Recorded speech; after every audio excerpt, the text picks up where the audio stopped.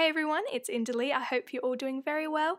Today I'm going to be showing you how to make the latest TikTok trend, which is whipped coffee. This is so amazing and I've seen a lot of people do it. Some people do equal quantities, some people don't, but today I'm going to be using a third of a cup of coffee and I'm just going to pop that in my blender and I'm going to combine it with a cup of sugar. I know it sounds like a lot, but it was actually quite bitter.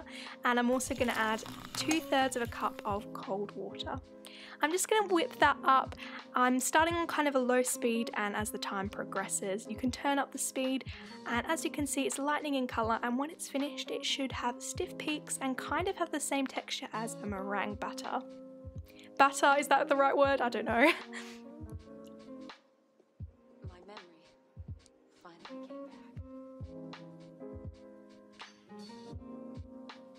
How satisfying does that look? It's so magical, honestly.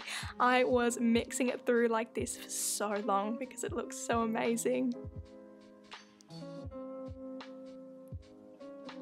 Next I'm going to get a mason jar and I'm just adding some ice. This is totally optional, I just like adding ice and you can add as much as you like. And I'm just going to kind of fill the cup with two thirds the way milk, again depending on how strong you like it. And I'm grabbing a tablespoon, well a few tablespoons of the coffee mixture and I'm just popping it on the top there